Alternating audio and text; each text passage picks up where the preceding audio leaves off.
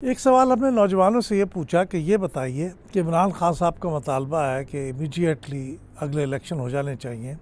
हालाँकि इलेक्शन अभी अक्टूबर 2023 में ड्यू है तो उनकी क्या राय है कि वाकई फौरी तौर पर इंतखब हो जाने चाहिए या अपने वक्त पे इलेक्शन होने चाहिए? 70 परसेंट लोगों का ख्याल ये है कि ये फौरी इलेक्शन हो जाने चाहिए। और 26 परसेंट ये कहते हैं कि हम इससे एग्री नहीं करते।